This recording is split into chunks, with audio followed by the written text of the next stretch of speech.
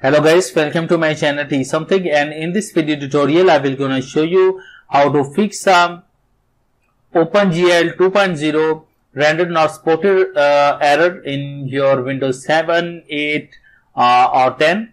So how to fix this type of error? Let's start. Before starting of the video, I humbly request you please subscribe my YouTube channel for more updates. So let's start it. Uh, okay guys, uh, you can face this um, you can face this error uh, due to your graphic tables. So how to fix this error? First of all, going to your uh, desktop uh, and right click and uh, go to your personalized, uh, sorry, go to your screen resolution and after that go to your advanced settings and now here is that uh, this is the uh, graphic version uh, is a GeForce 3.10 so now you can uh, uh, search a free download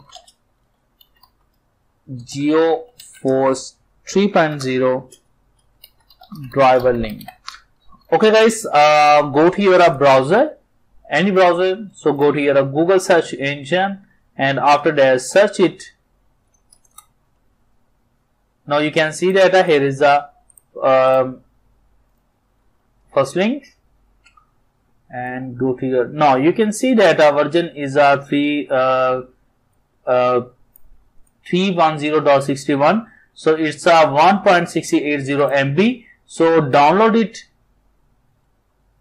Now you can see that downloading will be started and uh, downloading will be started. And after downloading that install in your uh, computer. I'm sure that after doing this that your problem has been solved. Thank for watching and please subscribe my YouTube channel.